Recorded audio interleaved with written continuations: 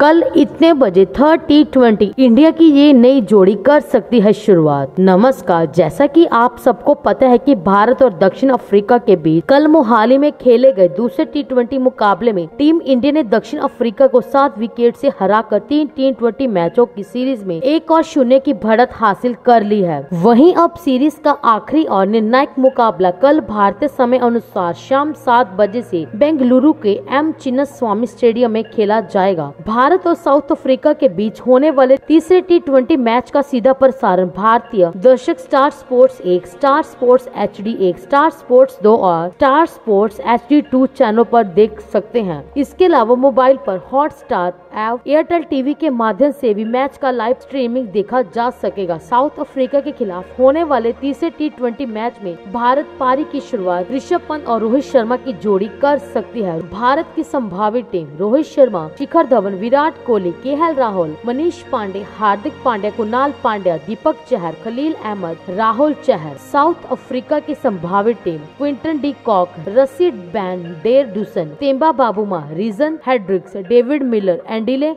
Phehlukwayo Dwaine Pretorius, Junior Dala, Kagiso Rabada, Tabraiz Shamsi.